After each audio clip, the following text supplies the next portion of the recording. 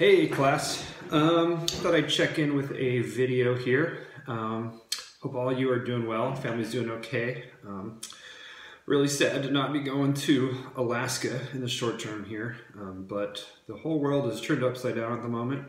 Um, hope I can bring you at least close with some baby Alaskan brown bears there behind me, so you get a feel like you're in Alaska. Um, again, sorry uh, that that was not possible because of everything going on in the world. Um, excited to hopefully see many of you in the class next year. Uh, I've redesigned the class in such a way, as you've seen, and I've talked about earlier, uh, that we're not going to be uh, overlapping any content of what we would do up in Alaska. So instead, we're just kind of having you go more in depth um, in the Hudson Valley here, looking at our local social ecological system. Um, so I just posted onto iLearn your final project prompt.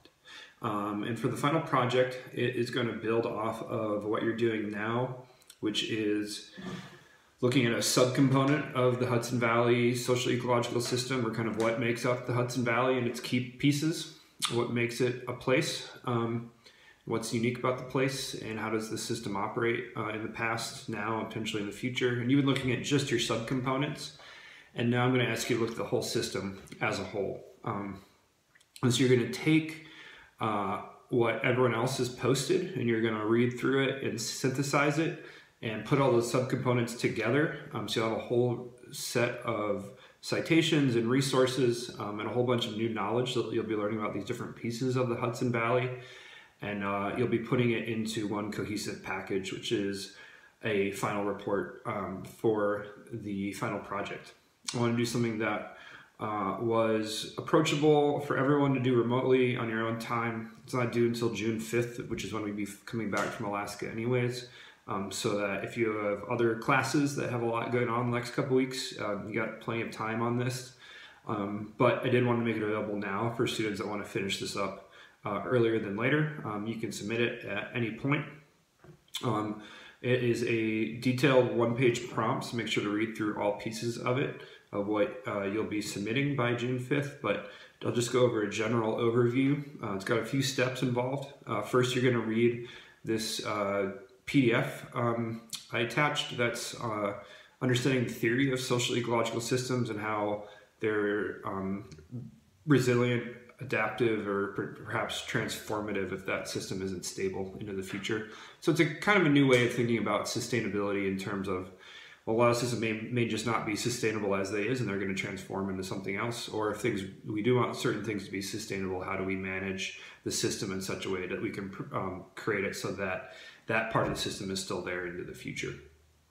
Um, so you'll read this pdf um, also included a reading to additional information on just climate change in the northeast region. Um, there are already is components of that with the student work um, that you'll be looking at um, but just some additional resources there. So it's really important you read this social ecological systems theory paper because you really need to apply that then to working on the final project. So that's the first step of final project, just doing some reading. Um, the second step is more reading, but this is much more condensed and synthesized information that's already been put together by the other students in each of the different subcomponents of the Hudson Valley um, social ecological system. So You'll go in, uh, once I get everyone's pieces uh, after this weekend, uh, so sometime next week, I'll have a resources file uh, up on iLearn. Um, so it'll be in the resources tab on our course page, um, and there you'll see everyone else's um, presentations, or essentially handouts, and then what they would say with those typed up, um, either attached to the handout or some people um, are not finding it as easy to do the comment bubbles just for like the formatting and stuff. So they're either attaching a separate page or putting it underneath or however you want to do it, but clearly have your like information and then have somehow have your, the parts that you were going to say attached um, into there in some way. Um, and uh, yeah, so you're going to read everyone else's. You're going to have this theory background from um, reading the attached PDF. Um, and then once you've done all that, then you're going to start synthesizing all this information and writing up your own uh, final paper uh, for the class here. And the paper is pretty involved. Um, obviously, this is a course where we're having to completely change what we were going to do. Um, so I don't want to make it unreasonable, but I also need to make it uh, worthy of a, um, a good amount of in-depth work on your part. And you're going to have all the resources at your fingertips. Providing those, you can go out and find additional resources to help you answer the prompt. Um, but the prompt is going to be um, essentially trying to use social ecological systems, um, the theory behind it to predict what uh, the future of the Hudson Valley may be and what are some of the biggest components that we can control today that might be able to uh, most influence where that future is going to go. So, um, and to understand the future, we understand where we've been in the past, how that shaped where we are today, um, and where we are today, and what we can do now that might dictate where we're going to be uh, in the future uh, particularly under a changing climate and a lot of the other social, economic, and other types of um, stressors that are out there in the environment um, and in our human, uh, in, in society, in our uh, cities, um, and uh, all aspects of our landscapes. So, uh, read through the prompt, um, see the different pieces.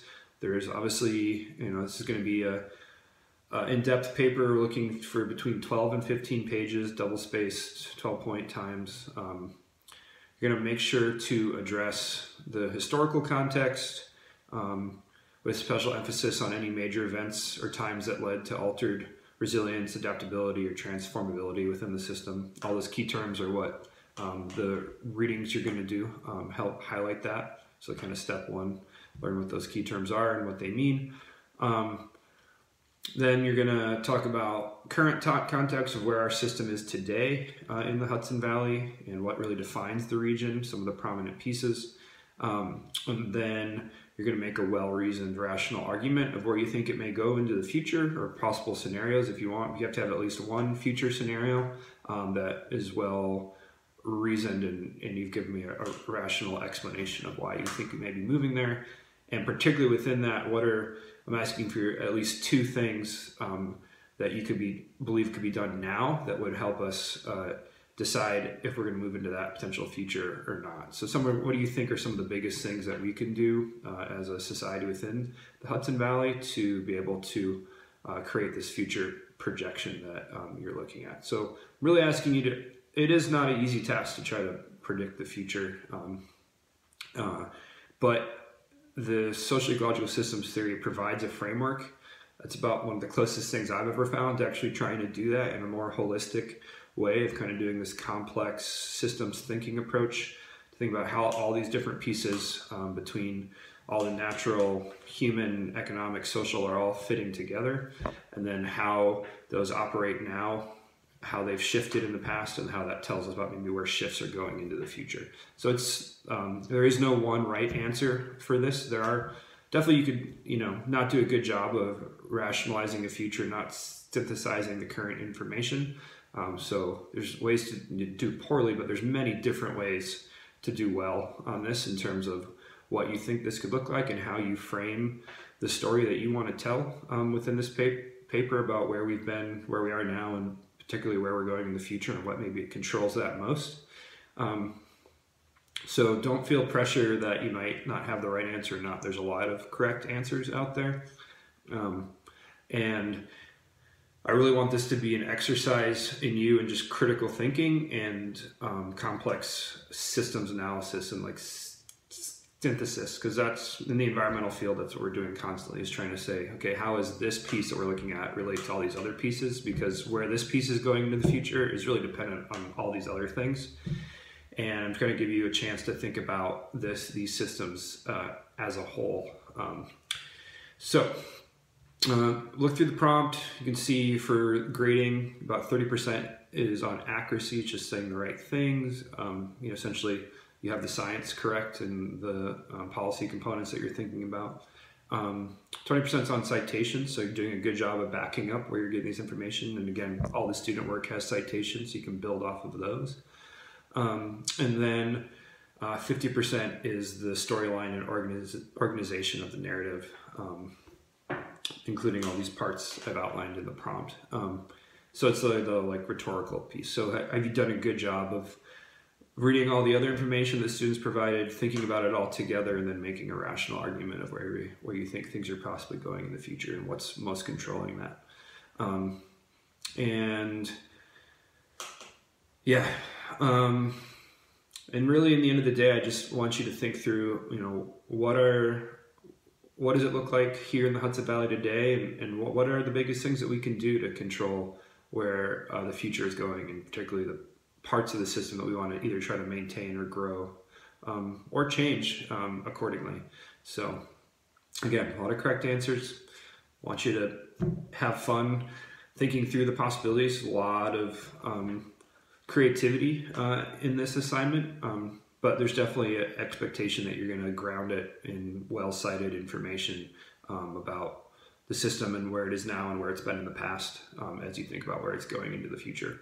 So um, a lot of a lot of past information and a lot of citations will be involved in this. Um, let me know if you have additional questions. Um, and um, other than that, I think you're in a good place now uh, for the month ahead. Um, I don't want this to be uh, overly a burden on you, but I also want it to be a good synthesis activity that really hits home on what the original you know goals were of the class, even though they've unfortunately been really altered from where we were at the beginning. But I hope this is still a useful task for many of you, and you learn some new skills in systems thinking um, and some of this type of complex social ecological systems analysis. So. Um, enjoy and yeah feel free to definitely be in touch uh, as more things uh, questions come up as you work through this and happy to help all of you. Take care, folks. Bye.